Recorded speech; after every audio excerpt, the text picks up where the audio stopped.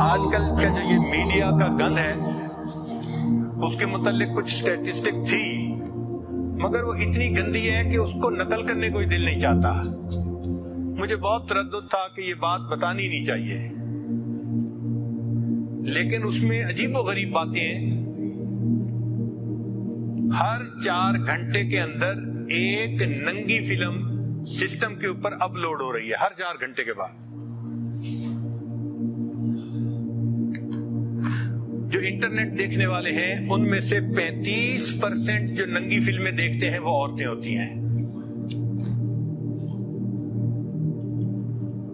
ہر روز جو ای میل لکھی جاتی ہیں، ان میں سے two point five billion email جو ہوتی ہیں، وہ سیکس سے متعلق ہوتی ہیں۔ Two point five billion daily email وہ سیکس سے متعلق ہوتی ہیں۔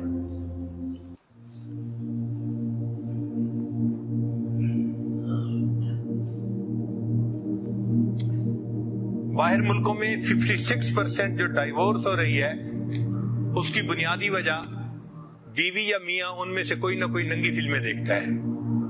اس لیے وہ اپنے ساتھی سے مطمئن نہیں ہوتا۔ اور ان کی زندگی میں پرابلم آتے ہیں۔ تین سٹیجز ہیں۔ یہ ذرا سمجھنے والی بات ہے کہ عام طور پہ ہر نوجوان سمجھتا ہے کہ یہ ننگی فلمیں بری چیز ہے، مگر اس کو اس کا عادی بنا دیا جاتا ہے ایڈکشن اس کی ہو جاتی ہے۔ لوگ جیسے شراب کا نشہ ہوتا ہے، ننگی فلموں کا اسی طرح نشہ ہو جاتا ہے۔ اور اس کے تین سٹیپس ہیں۔ پہلا سٹیپ ہے ڈی سینسٹائزیشن کا مطلب یہ کہ جو بندہ ننگی فلمیں دیکھنے لگ جاتا ہے تو وہ پھر برے کو برا نہیں سمجھتا۔ یعنی شروع کے چند دن تو ملامت ہوتی ہے، پھر وہ روٹین بن جاتی ہے۔ تو پہلے سٹیپ کو کہتے ہیں ڈی سینسٹائزیشن دوسرا سٹیپ آ جاتا ہے، اس کو کہتے ہیں ایکسپٹینس کہ بندہ اس برائی کو پھر تسلیم کر لیتا ہے۔ اور تیسرا سٹیج ہے ڈسٹورشن ڈسٹورشن کا معنی کہ بندہ اس گناہ کو زندگی کا حصہ ہی سمجھنا شروع کر اس کے بغیر تو گزارا ہی نہیں، یہی طریقہ ہے۔ تو آج کل میڈیا کے ذریعے انسانوں کے دماغ کی سوچ کو ڈسٹارٹ کر دیا گیا ہے۔ جس وجہ سے زندگیوں کے اندر بہت پریشانیاں ہیں۔ شریعت نے شروع سے ہی ان تمام گندی چیزوں سے بچنے کی جو ہے ہمیں تلقین فرمائی۔ لہذا جو لوگ اللہ تعالی کے راستے پہ چلنا چاہتے ہیں، ان کو چاہیے کہ وہ انٹرنیٹ کو تو اپنا دشمن سمجھے۔ ٹھیک ہے، کاروباری استعمال کی وجہ سے ہم یہ نہیں کہہ دیتے کہ جی ہر بندے کے لیے حرام ہے۔ ٹھیک ہے، جو کاروبار کے لیے استعمال کرتے ہیں، تو جائز کام کے لیے جائز ہے، ناجائز کام کے لیے ناجائز ہے۔ مگر اکثر و بیشتر اس کا ناجائز استعمال ہی ہو رہا ہوتا ہے۔ اس سے بچنے کی کوشش کریں۔ اور فیس بک کے بارے میں تو جواز کا فتویٰ ہی نہیں ہو سکتا۔ چونکہ کسی نے مجھے یہ بتایا، جو اس لائن کے لوگ ہیں، کہ فیس بک پہ جو بندہ جاتا ہے پورے پانچ منٹ کے اندر کوئی نہ کوئی غیر محرم لڑکی اس کے سکرین پہ آ جاتی ہے۔ تو اگر پانچ منٹ کے اندر اس نے غیر محرم لڑکی کو دیکھنا ہے، تو اس کا کھولنے کا جواز ہی نہیں دیا جا سکتا۔ تو فیس بک پہ تو جانا ہی حرام ہے، یوں سمجھ لیں۔ جو اللہ کا قرب حاصل کرنے والے لوگ ہیں، وہ اس میڈیا کے گند سے اپنے آپ کو بچائیں۔ اور ہو سکتا ہے کہ اسی گند کی وجہ سے ان کی ترقی نہ ہو رہی ہو۔ وہ بڑھنا چاہتے ہیں مگر ان کے پاؤں بندھے ہوئے ہیں۔ اللہ تعالیٰ اس گرفتاری سے ہماری جان چھڑائے۔ اور پھر اس کا فائنل نتیجہ لکھا ہوا ہے کہ طلاقیں ہو جاتی ہیں اور بندے ڈائیورس ہونے کے بعد ڈپریشن ہو جاتی ہے۔ اور ڈپریشن کے بعد اس کا انجام کہ وہ لوگ خودکشی کرتے ہیں۔ جن لوگوں کو ایسی فلمیں یا ایسی چیزیں دیکھنے کی عادت ہو، ان کے لیے بھی چند نصیحتیں ہیں۔ وہ ذرا سن لیجیے، یہ کام کی باتیں ہیں۔ کہ وہ بندہ اپنی ول پاور کو بڑھائے، سب سے پہلا کام۔ ڈٹرمنیشن پاور ول پاور چونکہ ول پاور مضبوط ہوگی تو انسان انٹرنیٹ پہ تو کام کرے گا، مگر گندی ویب سائٹ پہ نہیں جائے گا۔ اور اگر ول پاور کمزور ہوگی تو پھر خود بخود اس طرف کھنچ جائے گا۔ تو ول پاور کو مضبوط کریں ذکر کی کثرت کے ذریعے سے اور جن لوگوں کو اللہ نے مضبوط قوت ارادی دی ہے، ان اللہ والوں کی صحبت میں بیٹھنے سے اپنی قوت ارادی کو مضبوط کریں۔ پھر جو لوگ ایکسرسائز کرتے ہیں، ان کی بھی ول پاور مضبوط ہو جاتی ہے۔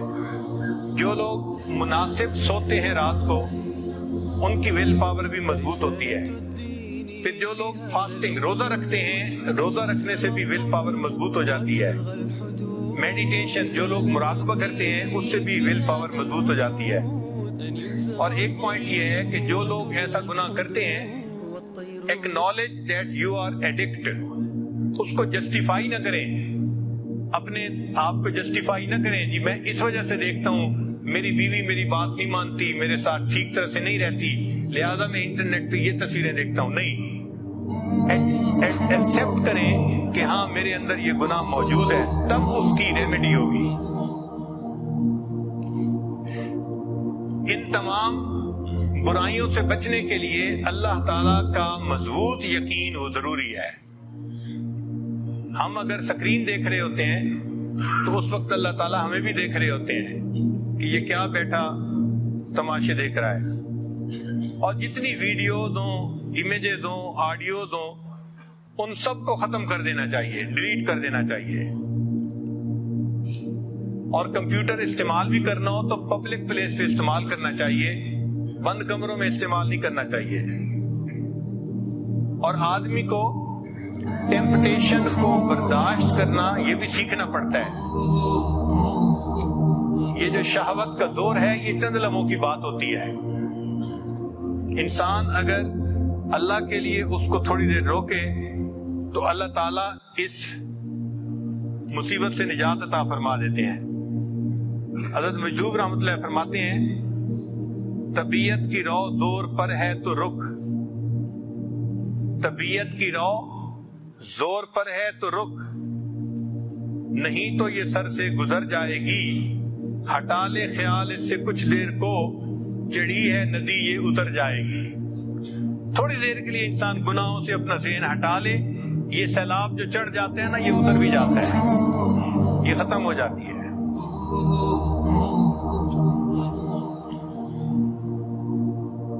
فرماتے ہیں، کر نفس کا مقابلہ۔ ہاں بار بار تو۔ سو مرتبہ بہار کے ہمت نہ ہار تو۔ اس کو پچھاڑ کے بھی نہ پچھڑا ہوا سمجھ۔ ہر وقت اس کمی سے رہ ہوشیار تو۔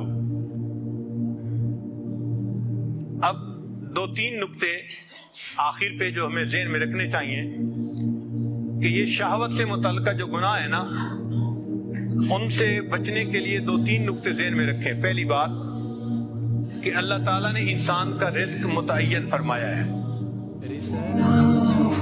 وَإِن مِّن شَيْءٍ إِلَّا إِنَّنَا خَزَائِنُهُ۔ جو بھی چیز ہے، اس کے ہمارے پاس خزانے ہیں۔ وَمَا نُنَزِّلُهُ إِلَّا بِقَدْرٍ معلوم۔ ہم اس کو ایک معلوم اندازے کے مطابق اتارتے ہیں۔ ہم نے دنیا میں کتنے لکمے کھانے ہیں، یہ طے شدہ ہے۔ کتنا پانی پینے طے شدہ ہے۔ ہم اس وقت تک نہیں مر سکتے جب تک ایک قطرہ جو رزق میں لکھا ہے، ہم نے اس کو پی نہ لیا ہو۔ اس لیے بعض لوگوں کو آپ دیکھتے ہیں، پانی پی رہے ہوتے ہیں اور ایک گھونٹ لیتے ہیں، گلاس رکھتے ہیں اور ان کی موت آ جاتی ہے۔ انہوں نے اتنا ہی پانی پینا ہوتا ہے، رزق اتنا ہی تھا۔ جو مزید پانی تھا، وہ ان کا رزق نہیں تھا۔ لکما لیتے ہیں، باقی روٹی رہ جاتی ہے، فوت ہو جاتے ہیں۔ ان کا رزق اتنا ہی تھا۔ ہماری زندگی میں جو اللہ رب العزت نے ہمارے لیے جنس کے مزے رکھے ہیں، نکاح کے ذریعے سے، وہ ہمارا رزق ہے، وہ ہمیں ملنے ہی ملنے ہیں۔ اگر ہم شریعت کے مطابق کریں گے تو ازدواجی زندگی کی لذتیں نصیب ہوں گی۔ اور اگر ہم وقت سے پہلے ان کو لینے کی کوشش کریں گے تو کوٹا ہمارا ہی ہے جو ختم ہوگا اور گناہ اوپر سے ہوگا۔ گناہ اوپر سے ہوگا۔ اس لیے کمارے بچے شادی سے پہلے جن سے گناہوں میں پڑ جاتے ہیں، تو وہ یہ میں سوچیں کہ ہم جو لذتیں لے رہے ہیں، یہ نصیب ہمارا ہی ہے۔ اگر ہم نکاح کے بعد لیں گے تو یہ کامل لذت ملے گی ہمیں۔ اور اگر نکاح سے پہلے غلط طریقوں سے شاوت پوری کریں گے تو طریقہ بھی غلط ہوگا اور اوپر سے گناہ بھی ملے گا۔ نتیجہ کیا ہوتا ہے؟ کہ اگر شادی سے پہلے ان گناہوں میں پڑ گیا تو جب شادی ہو جاتی ہے تو ان کا کوٹا ہی تھوڑا ہوتا ہے۔ لہذا وہ اپنے زندگی کی جو ساتھی ہے، اس کی تمناؤں کو پورا ہی نہیں کر پاتے۔ اس سے ازدواجی زندگی کے اندر پریشانی آتی ہیں۔ پھر بیویاں خامند کے سامنے غصہ کرتی ہیں آرگومنٹ کرتی ہیں اور اکثر ایسے لوگوں کے درمیان ناچاتی رہتی ہے۔ یا دوسرا طریقہ یہ کہ جب بیوی خامد سے مطمئن نہیں ہوگی تو وہ بھی گناہ کا راستہ جو ہے اختیار کرے گی۔ تو ایسے لوگ جو کمارے پن میں گناہوں میں پڑتے ہیں، وہ یہ ذہن میں رکھیں کہ شادی کے بعد ایسا نہ ہو کہ ہماری بیوی ہی کہیں گناہ کے راستے میں نہ پڑ جائے۔ اور امام شافی رحمۃ اللہ فرماتے تھے کہ یہ زنا جو ہے، اس کا قصاص ہوتا ہے۔ قصاص کا کیا مانا کہ اگر آج میں زنا کر رہا ہوں، تو اس کے بدلے کوئی نہ کوئی گھر کی عورت اس کو پورا کرے گی قصاص کو۔ تو اگر ماں زنا کر رہی ہے، تو وہ سوچے کہ کیا میری اس حرکت کا بدلہ میری بیٹی چکائے گی؟ میری بیٹی بھی اسی راستے پر چلے گی۔ اگر خامد یہ عمل کر رہا ہے تو اپنی بیوی کے بارے میں سوچے کہ میں اگر کسی غیر عورت کے ساتھ یہ گناہ کر رہا ہوں تو میری بیوی، میری بیٹی وہ بھی اسی کو پورا کرے گی۔ حدیث مبارک ہے، تم غیر عورتوں کے ساتھ پرہیزگاری کا معاملہ کرو۔ لوگ تمہاری عورتوں کے ساتھ پرہیزگاری کا معاملہ کریں گے۔ اور جو انسان غیر عورتوں کے ساتھ بدکاری کا معاملہ کرے گا، تو علماء نے لکھا ہے کہ اس کے گھر میں بدکاری ہوگی۔ اور اگر گھر کی عورت سے نہیں ہوگی، تو گھر کی دیواروں کے ساتھ بدکاری ہوگی۔ یعنی اس نے اس کا قصاص چکانا ضرور ہے۔ تو کیا ضرورت ہے اس گناہ میں پڑھنے کی؟ کہ جس کا گناہ، جس گناہ کا قصاص ہماری اولادیں آگے چکائیں گی۔ ہمارے اپنے گھروں میں گناہ آئے گا۔ اس لیے اپنے آپ کو گناہ سے روکیے اور وہ عمل کیجیے جس کی شریعت نے اجازت دی ہے۔ جب تک دل میں یہ خوف نہیں ہوگا کہ اس سے اللہ ناراض ہوتے ہیں اور اس کا قصاص دینا پڑے گا، انسان ان گناہوں سے نہیں بچ سکتا۔ چنانچہ یہ دو تین باتیں ذہن میں رکھیں کہ جو کچھ ہوتا ہے وہ ہمارا ہی رزق ہوتا ہے۔ ہم اس کو خلاف شرع طریقے سے کیوں حاصل کریں؟ یہ تو ایسا ہی ہے کہ مزدور کو تنخواہ ملنی تھی اور وہ تنخواہ کو چوری کر لے۔ اس کو کون عقل مند کہے گا؟ اور بے وقوف آدمی یہ تمہاری تو تنخواہ تھی۔